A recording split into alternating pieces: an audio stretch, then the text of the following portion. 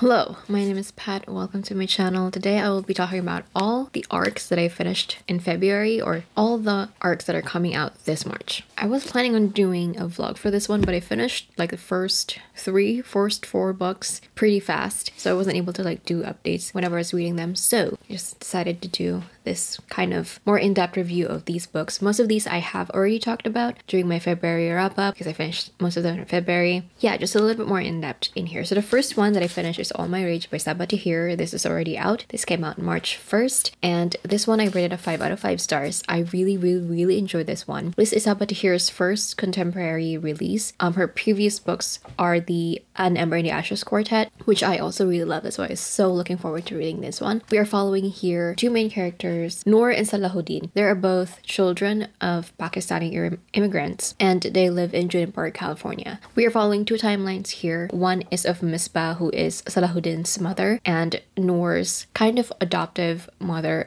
as well. Like growing up, she saw Misbah as her mother figure because when she was young, she lost her parents in a tragedy in Pakistan, and her uncle brought her with him to California. And Noor and Salahuddin have been best friends for a very long time, but something happened, I think a few months before we're where we're going to start in the story where they stop talking to each other. Salahuddin's family run a runs a motel and with her mother sick, they've been behind and on debt. They've been struggling to run it and his father has succumbed to drinking and they've just been struggling and he's essentially been taking care of his entire family by himself while also still in high school. Noor, meanwhile, works in her uncle's liquor store and applying to colleges in secret because her uncle doesn't want her to leave and go to college and just plans for her to run the liquor store when she's graduated from high school. Sal is very desperate in his attempt to save the motel. He gets into trouble alongside Noor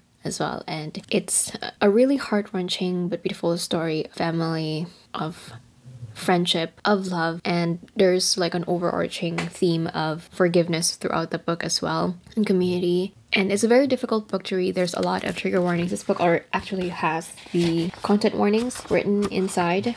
I really love this book. This is a this is a kind of book I think I already mentioned it that I feel like everybody should read. Can be very difficult to read, especially with all the topics that are on here with you know family relationships what you were willing to do and willing to go through for family. It's very beautiful. If you're going to read one book from here well maybe two from here. This is one of those. All My Rage by Sabaa Tahir again check the content warnings but i really really really really love this book. I loved it. I was only halfway through, not even I think halfway through when I pre-ordered this one. Well, I already knew that I was going to like it, but I wasn't sure if I wanted to get like my own physical copy. I mean, I had, you know, very good feelings about this because it's written by Sabaa Tahir and Sabaa Tahir's writing is still beautiful, still very captivating. I I just I really love this book. Definitely going to be probably in my top reads of 2022 so far. It's very it's very good. And then the next one that I finished is Love Decoded by Jennifer Yen. This one comes out March 8th, the day that I'm filming this. It's a YA contemporary rom-com about a Taiwanese American teen who must save the relationships that mean so much to her when her friend making app goes awry. Actually, a companion series. I didn't know that this was. This was the second book, but I didn't like miss anything from the story. But the main character is a very high achieving. I think she's in senior year and she's preparing to go to college. And one of the things that she's having trouble with is like just having just perfecting her credentials credentials to go to college, to get into the college that she wants to. And she's very good with coding and she comes up with a friend making app when she meets this new girl who has said that she is having trouble with making friends and her family is known, well, her great aunt, I think, or yeah, her great aunt is known to be a very good love matchmaker, like a matchmaker. So she kind of applies that matchmaking into, uh, into her friend making app. Things get out of control because of her app. Yeah, this one was a three stars for me. It's a very fast, very light read, but I feel like, especially with the romance part, I felt like we focus so much more on the main character, which is fine, but because it is told in her perspective, because she is the main character, but I felt like everyone else was put in the back burner and we only see like glimpses of them when they are interacting with her. There's just not enough like layers to the characters themselves. Even the love interest doesn't have a lot of layers himself. We only see him very in very small parts, although I really do like him. I do like all the characters, but there's like they, they don't feel very real and substantial to me. The same thing with like the plot, it was okay. Not a lot of very strong feelings for this one. It was very fast and light. If you're looking for that, you can definitely read this one. But if you're looking for more depth in the characters and the plot, yeah.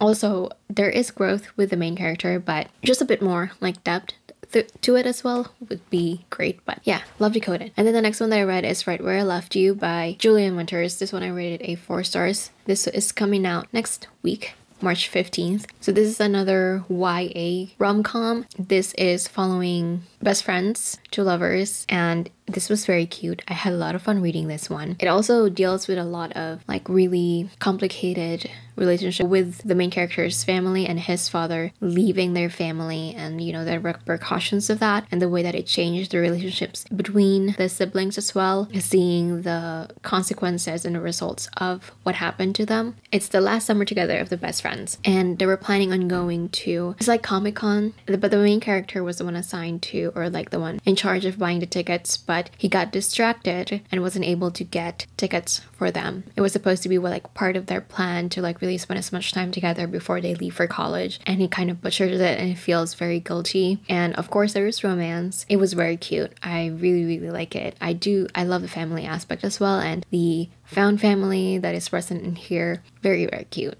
a lot of fun to read as well. And then the next one is Dating Dr. Dil by Nisha Sharma. This one is also coming out March 15th. I rated this one a 4.5 stars. This is the other book that I, if you're going to read two of this, the one that I mentioned earlier is this one. So this is an adult contemporary romance and we are following opposites attract character. So we are following Kareena who is described as a hopeless romantic who has been single for a very long time and her aunties are nagging her and hounding her to get married, especially with her younger sister engaged and about to be married as well. And our love interest, Dr. Prem, believe in the way that love is not real. Like it doesn't really believe in love or in that. Relationships should not be founded on love. Instead, it should be founded in compatibility because love is not sustainable and it's not going to ensure that a couple or a relationship will last forever. So they're opposites attract in that and they have this like butchered almost one night stand.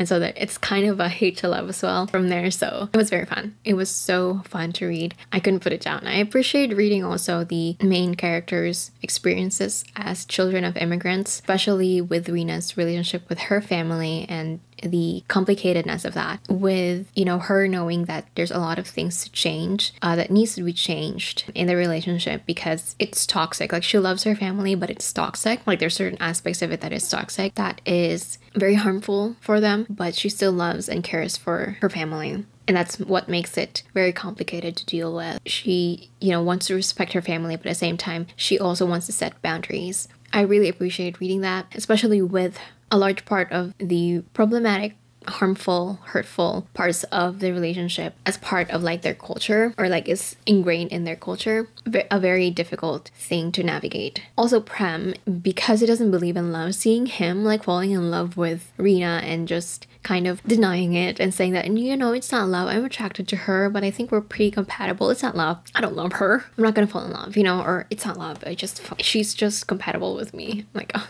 sure okay. It was it was very cute to read.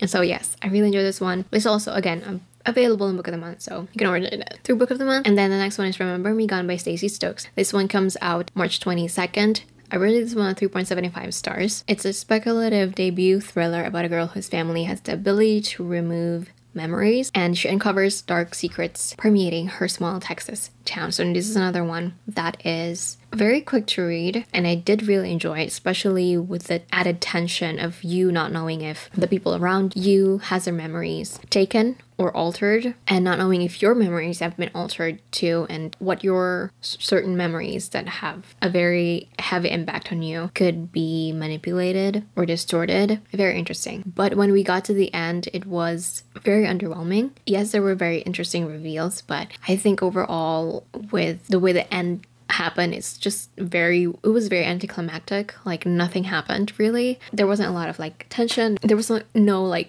big massive point in the climax of the story. So that one was very underwhelming. I love the build up to the conflict but the build up amounted to nothing So that was very sad. That's Remember Me Gone. And then the last one, the one that I took so long to read that I just finished, is City of Dusk by Tara Sim. I saw this one on NetGalley and decided to see if I could get a, an arc for this one. This one is also coming out March 22nd. This is an adult first book in a new high fantasy series. This one I think was like 500 plus pages. So it's a lot of it. I read this one at 3.5 stars. I got to about 10 to 15% of it before I was like, I need to reread it because I couldn't understand anything. And I understood why it was hard for me to read because it's again first book in a in a new high fantasy series. And there's a lot of characters to remember. There's a lot of different like the world itself is very complicated and the magic itself is also very complicated. Different kinds of magic and different houses. And the different houses you know have different um heads of the houses and different heirs. The way the magic works is also kind of different. There's also of course the king the royal family and you know how the relationships are and how the magic works because it's kind of intertwined with each other as well. And it's a lot. It was a lot. So this is following four main characters. They are the heirs of the houses during this time, there's a rebellious group trying to cause chaos in the kingdom, and or they're practicing a different kind of conjuration. It's a different form of magic that is dangerous. They're trying to crack down on this rebellious group, but as they discover more with each of the characters' journey to that, plus the God's Night that they're going to have, where it's a really like big celebration that showcases the powers of the different families. A lot of things are happening building up to this God's Night, plus the rebellious group. There's just a lot going on and we're following like four different perspectives plus I think two or three more from it. So there's a lot to like remember and understand and I get it I understand. It was very hard especially in the first half. By the second half of the story hooked on the story I was interested in where it was going and then that last part the climax part was very very good I really enjoyed it and so I was very close to DNFing it but I was starting to get the story by the time I was like should I DNF it should I not and then it got even more interesting so I stayed and I finished the book again it's the first book a new series. So I understand that there's a lot, I, but I felt like it could have been, you know, a lot more easy to understand. I feel like there's just a lot of world building. It's very info dumpy, a lot of names, a lot of terms to remember. It's just a lot. But I am interested in reading the rest of the books in the series. I feel like if it was somebody else, they would understand this a little bit more, would appreciate this a little bit more. Just my personal experience with it was a bit of a struggle. But I will be reading the rest of the series. I believe this is a trilogy, so we'll read a second book when it comes out.